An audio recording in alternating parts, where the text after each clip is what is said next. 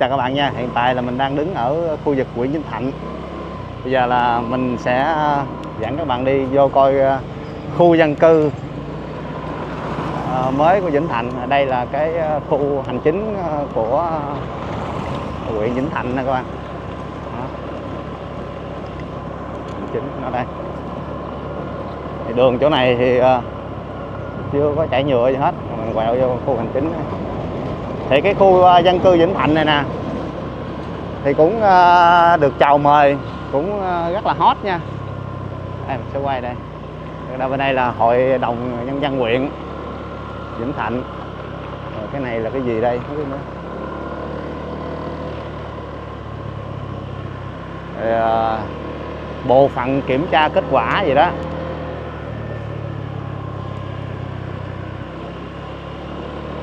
đây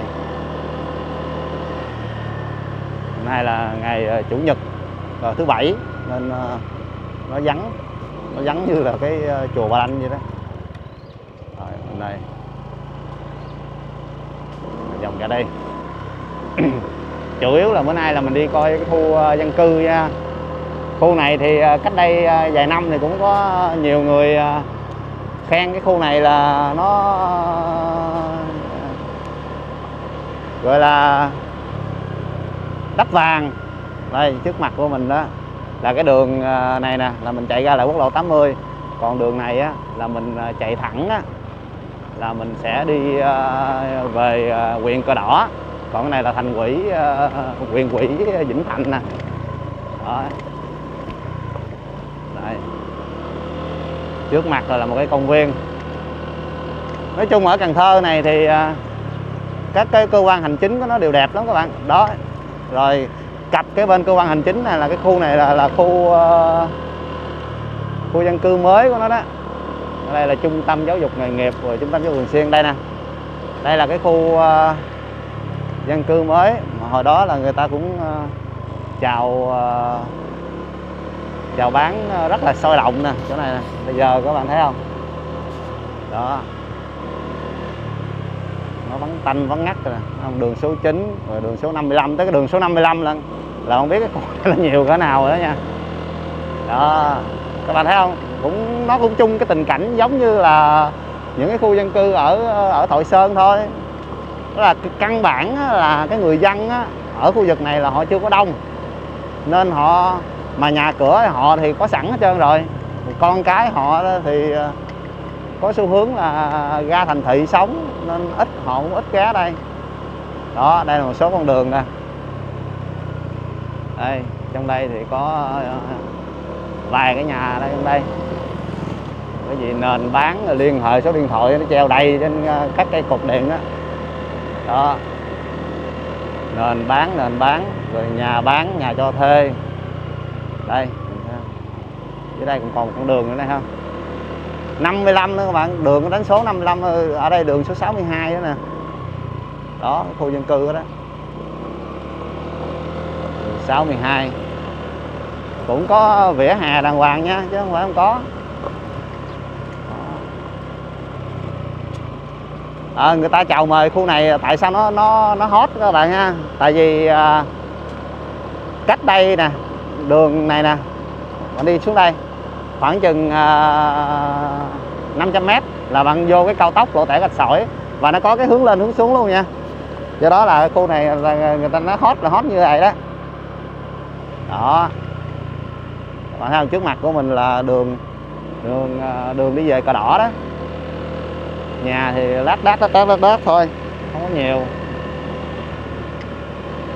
Đó các bạn thấy không? Giờ mình chạy ra đường à, mặt đường ngoài cái mình xuống cho các bạn coi ngay nữa nha. Đó khúc này là ra đường lớn nè. Đường này cấm quẹo xuống thì mình à, quẹo lên. Đường khúc này chưa chưa chưa có mở rộng nha các bạn ha chưa có làm.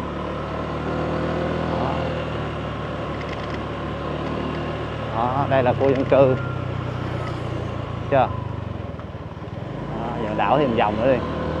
Để mình chạy lên cái đầu trên kia kìa mình ra cho nó dễ nhà thì lát đác thôi. Cũng không có nhiều nhà nữa. Khu này hồi đó là nó chào mình nó kêu là một tỷ mấy á một căn một cái, cái nền á. Ba tỷ tư vậy. thì cái đợt đó thì ờ, cũng có xuống đây ờ, khảo sát. Ờ, coi nhưng mà sao thấy nó vắng quá. Ờ, tới ngày hôm nay nó cũng còn trắng tanh. Cái này là cũng phải nói là, là đây. Bán nền bán đất đây. Đây đây đây đây. Các bạn thấy không? Đây. Bán nền liên hệ. Đó có, có cặp móc. Mà cái khu này được con cái các bạn ha. Điện nó là điện mình không thấy dây điện nha tức là điện âm á. Đây cây này cũng có bán nền cây này cũng có bán nền cây này có bán nền mình không hiểu vì sao cái cái cái chỗ nó rất là thuận lợi. Đó. Mà lại là không có nhiều người mua. Đó. Giờ mình chạy ờ, chạy bọc ra đây lại nha để mình chạy mặt ngoài của cái cái, ờ, cái khu này ha. nói là cái khu này khu dân cư là mình không ờ, cũng không trúng đâu các bạn. Cái này khu là nó bài bản nha nó là khu đô thị luôn á.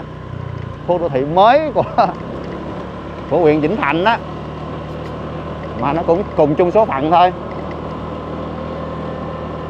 Đó. bên đây là uh, trung tâm huyện khu hành chính của huyện. Bên đây là khu dân cư. Còn mình đây đây là cái đường về cờ đỏ nè. Đường này thì mình chạy góc lộ 80 nè. Đường này mình về cờ đỏ nè. Thì cao tốc lộ tại gạch sỏi nó nằm hướng này. Đó cái này mình đi mặt ngoài đó nè. Đó các bạn thấy chưa? Ở đây là có một cái cơ quan gọi là bảo hiểm xã hội huyện Vĩnh Thạnh. Đó đó toàn bộ này, này là cái tiếng mặt chính của cái khu dân cư á. À, khu đô thị không phải gọi là khu dân cư. Ở đây cũng là bán nền bán nền mặt tiền nữa nha. Vỉa hè ở đây là rộng là là, là, là, là khoảng 5 mét đó thì trên- trên mặt này thì có lát đác vài cái nhà thôi. Hồi nãy là mình đứng khúc này mình ra nè mình quẹo lên đó bây giờ cái khu đó rồi bây giờ mình ra đường lớn nha. Mình về. Đó giới thiệu cho các bạn cái khu này. Các bạn nào mà có đầu tư thì xuống đây đầu tư. Bây giờ là mình sẽ chạy xuống với ờ, cao tốc để coi coi tại sao mà cái khu này nó hot. Vào cái thời gian mà nó bắt đầu nó mở lên. Thì bạn thấy không? Khúc này nè là đường nó lớn. Đường này là chạy thẳng khoảng hai chục cây số nữa là bạn về uh, cờ đỏ. Quyền cờ đỏ đó. Cờ đỏ rồi bạn đi thế Lai rồi bạn đi uh, Châu Thành A. Châu Thành A của Hậu Giang đó là cầu à, cầu Sà No đó. Là khoảng chừng 40 cây nữa là tới cầu Sà No. Đó, trước mặt các bạn thấy có có một cái cầu vượt không? Nó bắt qua bên cái đường tỉnh này nè. Rồi, ở đây cái bảng, mình dừng lại cái bảng này tốc độ tối đa 50 đây. Cờ đỏ 15 cây gạch sỏi 46 cây.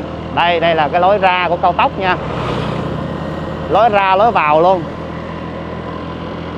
Đó. À, cao tốc nè. Thấy chưa? Đó lối ra đó. Lối này lối vào. Vào là về gạch sỏi nha. Còn ai muốn quay ngược trở lại uh, Long Xuyên á, Cần Thơ á, thì các bạn đi cái lối ra bên kia. Đó trước mặt của bạn là cao tốc lộ tẻ gạch sỏi đó. Thế nó mới gọi là hot chứ không? Cái khu đó mới là hot nhưng mà cuối cùng nó lại không hot chiều cao 5m3 dư sức các xe chạy. Rồi.